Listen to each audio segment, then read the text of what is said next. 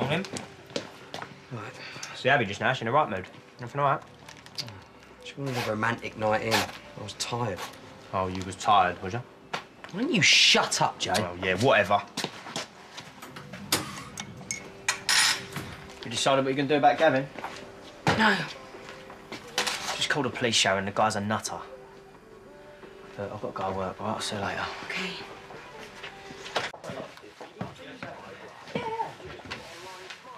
Okay.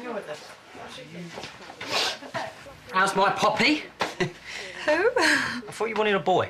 No, that's how big it is, isn't it? Like a like a poppy seed. How do you know that? I've got an app. Oh, yeah.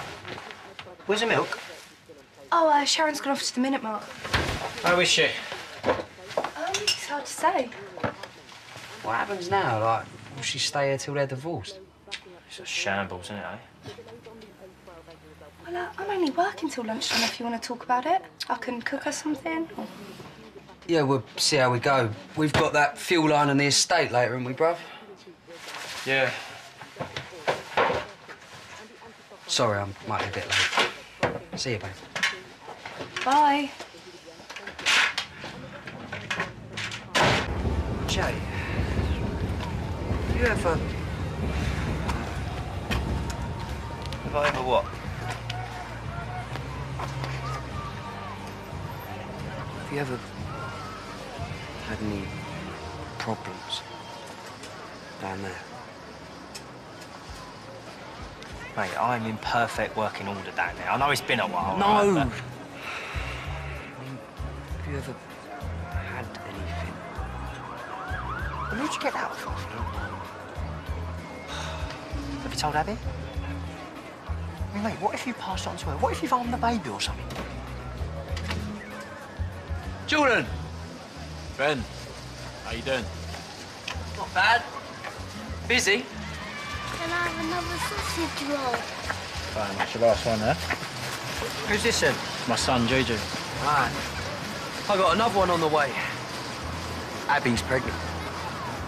Congratulations. Yeah. Pretty exciting.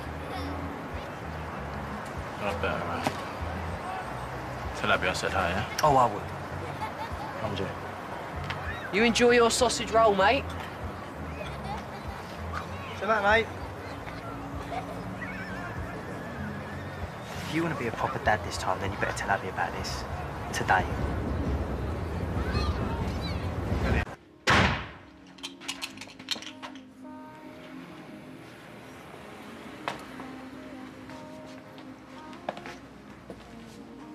Hiya. What's all this about? Oh, well, I thought I'd make it look nice, seeing as we've got the afternoon together. Hey, come, babe. I'm all dirty, ain't I? Well, I don't care. Ben, what is the matter? It's nothing. Well, then why do you keep pushing me away? Ben, what is it? I, uh... I think I may have caught something.